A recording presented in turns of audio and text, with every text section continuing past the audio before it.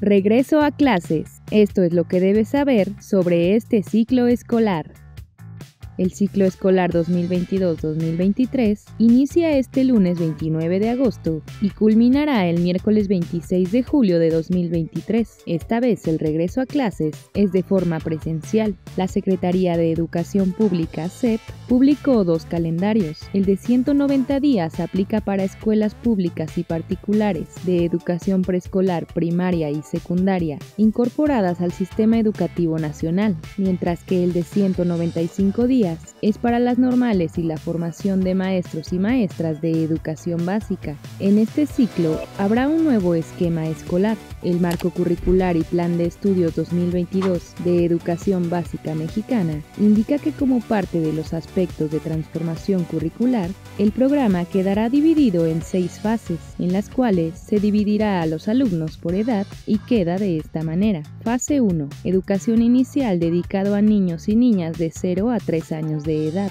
Fase 2. Educación preescolar para alumnos y alumnas de 3 a 6 años de edad. Fase 3. Primero y segundo de primaria para estudiantes de 6 a 9 años de edad. Fase 4. Tercero y cuarto de primaria para estudiantes de 9 a 11 años de edad. Fase 5. Quinto y sexto de primaria enfocado a adolescentes de 11 a 13 años de edad.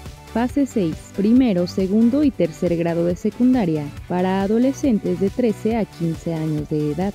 La SEP decidió implementar la lengua extranjera inglés como materia en las seis fases. Este ciclo escolar tendrá varios puentes, te decimos en qué fechas tendrán lugar, así como cuáles serán los periodos vacacionales. El calendario señala la suspensión de labores docentes los días 16 de septiembre, 2 y 21 de noviembre, 6 de febrero, 20 de marzo, así como primero 5 y 15 de mayo de 2023. La descarga administrativa se realizará el 18 de noviembre de 2022 y el 17 de marzo de 2023. En estos días las clases serán suspendidas. Las vacaciones decembrinas darán inicio el 16 de diciembre y concluirán el 30 del mismo mes. No obstante, los alumnos tendrán una semana más de descanso debido a que los profesores tendrán un taller intensivo de formación continua del 2 al 6 de enero, por lo cual se regresa a clases el 9 de enero de 2023.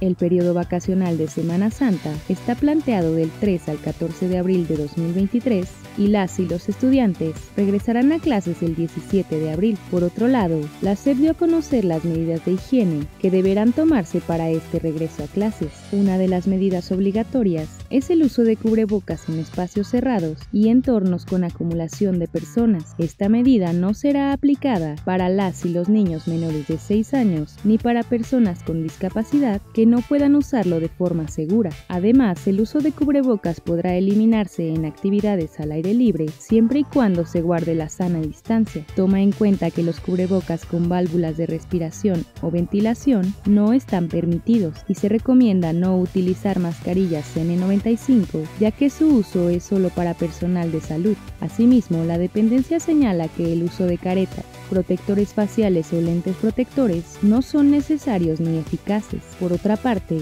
se recomienda tener una adecuada limpieza de manos, que el personal educativo y las mayores de 5 años tengan su esquema de vacunación completo y mantener los espacios con correcta ventilación. Si quieres mantenerte al tanto de las noticias de México y el mundo, te invitamos a darle like al video si te pareció de utilidad, suscribirte y activar la campanita de notificaciones. Cuéntanos, ¿cómo te fue en este regreso? a clases. Ya cuentas con todo lo necesario para iniciar el ciclo escolar 2022-2023. Te leemos.